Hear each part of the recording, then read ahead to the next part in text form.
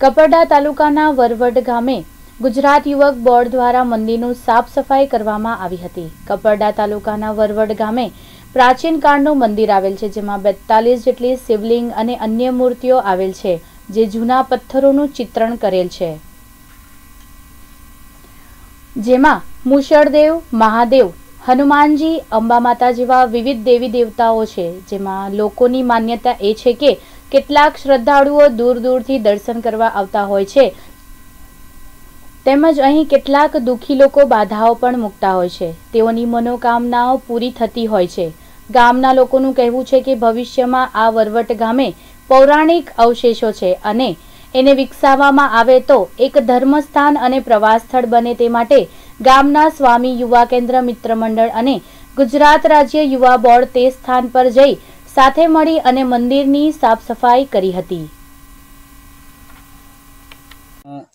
ગાંગોડા ઉમેશ બી ગાંગોડા ઉમેશ ગામ લવકર અને અહીં આજે આવેલ ગુજરાત રાજ્ય યુવક બળ દ્વારા અને જે અમારે ગામની સ્વામી વિવેકાનંદ યુવા મંડળ છે એ દ્વારા કહેવામાં આવ્યું છે કે સફાઈ અભિયાન કરવામાં કરવાનું છે. ત્યારે અમારા સૌ મિત્રો અમારા સ્વામી વિવેકા મંડળના સૌ મિત્રો આવીને અહીંયા સફાઈ અભિયાનમાં જોડાયા. તેમજ લવકર અને વરવડના બંને યુવકો મળીને જે અહીંયા અમે સફાઈ અભિયાન કર્યું, સાફ સફાઈ કરવામાં આવી.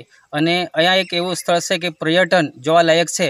અને એ જ અમારી વિનંતી છે કે અહીંયા જોવાલાયક સ્થળ બને અને વધુ વિકાસ થાય એ જ અમારી નમ્ર વિનંતી. એક શિવલિંગનું મંદિર પેલો અંદર હતો શિવલિંગ એમ.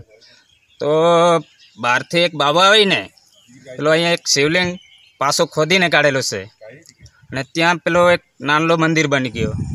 તેમજ એક માણસ બીજો આવેલો એમ. પેલો સોમભાઈ કરીને પેલો નવાપુરનો. તે લોકોને એક મંદિર તૈયાર કર્યો. હામે. એ માતાનું છે એમ.